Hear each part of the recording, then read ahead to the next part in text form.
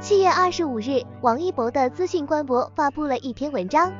宣布他因身体不适而无法参加二十六日在长沙举行的电影《热烈》的路演活动。在这篇文章中，王一博向粉丝报平安，并解释了自己的身体状况。王一博首先向粉丝表示，他并不是因为工作太累而导致身体不适，同时也向大家保证自己没有遇到什么大事。他强调说，只是身体有些不适，但相信很快就会好起来。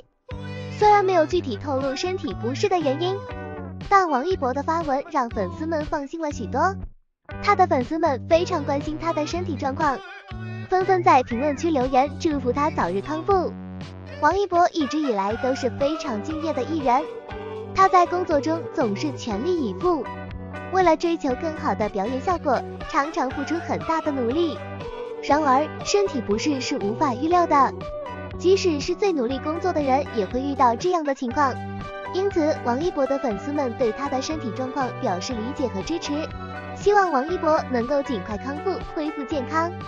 相信他的粉丝们也都会一直陪伴在他身边，给予他无尽的关心和支持，期待他能够早日回归工作，并带给观众更多精彩的表演。